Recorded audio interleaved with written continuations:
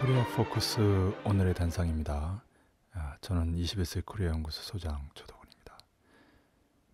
1997년 10월 8일 오늘은 김정일 국방위원장이 총비서로 추대된 날입니다. 1994년 7월 8일 김일성 주석의 서거일로부터 해서 3년상을 꼬박 치르고 난 뒤에 아, 이날 비로소 조선노동당의 총비서로 추대됐습니다.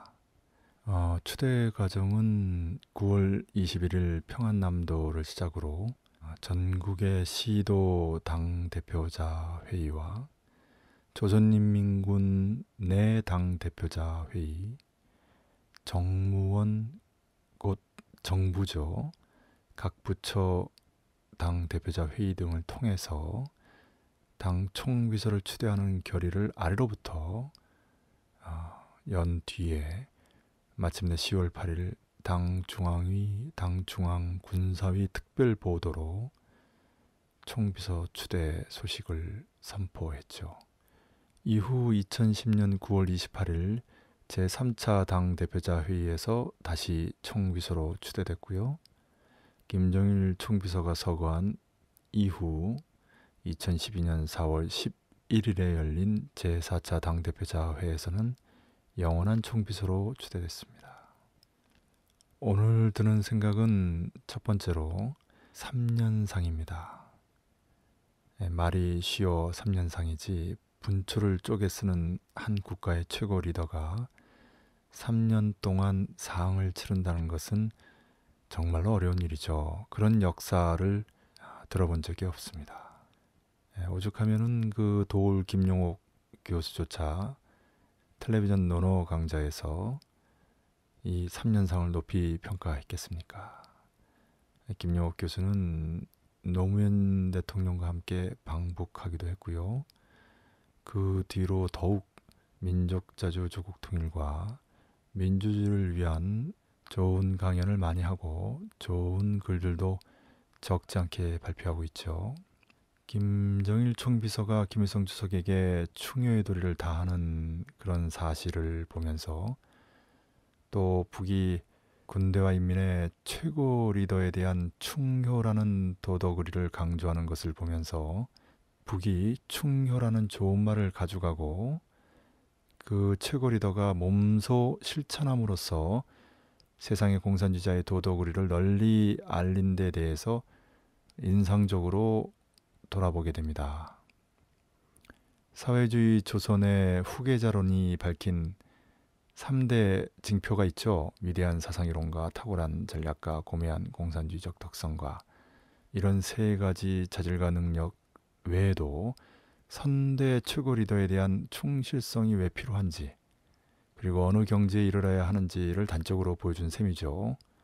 그런데 사실 김정일 총비서는 생을 마감하는 순간까지 그 3년상 시절과 별 차이가 없는 생활과 활동을 해서 급서 소식에 더욱 북의 군대와 인민들이 충격을 받고 슬픔이 컸던 것 같습니다. 지금도 김정일 총비서의 연구차가 평양을 돌 때 북의 인민들이 평소와 다르게 스스로 지키던 엄격한 규율과 질서마저도 깨고 영구차를 막아서면서 절대로 못 가십니다. 라며 절규하는 모습이 눈에 생생합니다.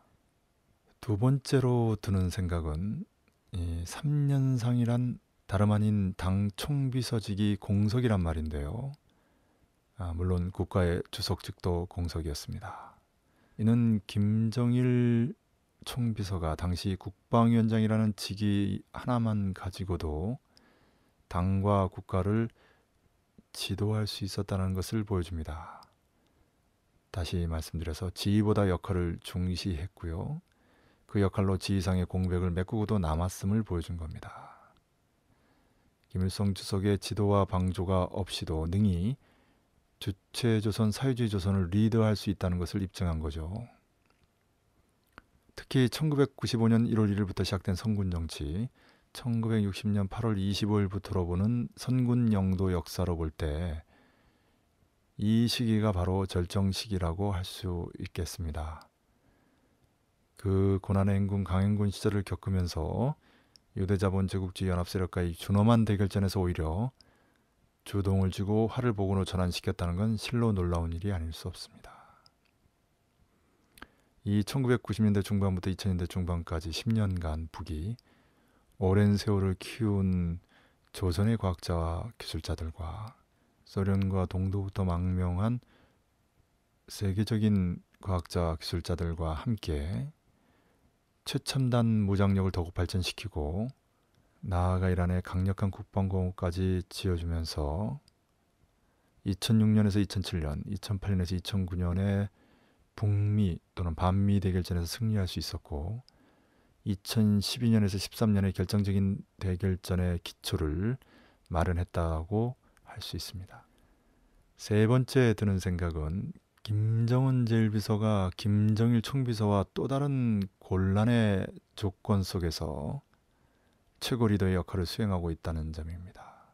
선대 최고 리더가 너무나 갑작스럽게 세상을 떠나고 선대 최고 리더의 일체 지도 방조가 없이 30대 초반에 최고 리더로서 모든 결정 홀로 내려야 한다는 것은 말처럼 간단하지 않습니다. 그래서 당의 책임적인 직위는 바로 승계하였지만 스스로는 제1비서로 자세를 낮추고 김일성 주석과 함께 김정일 국방위원장을 조선노동당의 영원한 총비서로 추대하는 충효의 모범을 보였죠. 역시 선대가 본을 보이면 후대는 따라하는 법이죠. 반미 반제 최후 대결전을 실제로 벌이는 일일 양병의 결정적 시기를 김정은 제1비서 시대라고 한다면 그 천일 양병의 준비기는 바로 선군 영도로 일관한 김정일 총비서 시대라고 단언할 수 있겠습니다. 오늘의 또 다른 역사적인 사건은 1895년 명성황후 고종의 왕비가 시해된 날입니다. 일본 낭인들, 깡패들이 경복궁에 침입해서 일국의 왕비를 강간하고 융간한 그것도 생간하고 시간한 그런 천인공로할 금수도 낯을 붉힐 만행을 저지른 날입니다. 만약 영국의 황태자비가 이런 일을 당했다면 어떻겠습니까? 또는 일본군이 우리의 조선 처녀들을 20만이나 성노예로 끌고 다녔던 것처럼 만약에 프랑스의 처녀들 20만 명을 성노예로 삼았다면 어땠겠습니까?